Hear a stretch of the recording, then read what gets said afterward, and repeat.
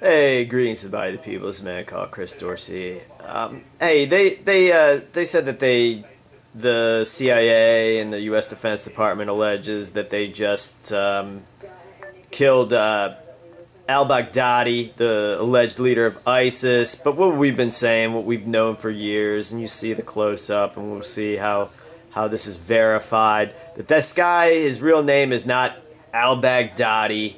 His real name is Elliot Shimon or Simone Elliott, and that we've been saying this, this has been out there for years, and that this originates from the NSA's own information, and that obviously ISIS stands for Israeli Secret Intelligence Service. Uh, ICE, you know, and that ISIL is is the same thing.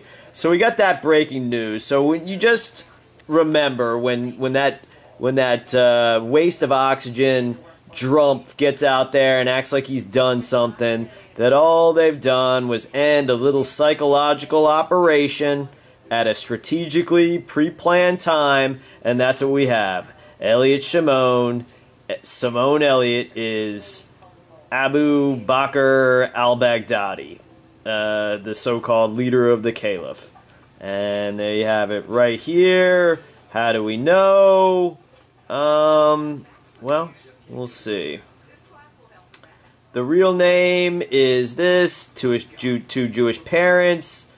There's more of the information. There's this guy. Another source corroborates.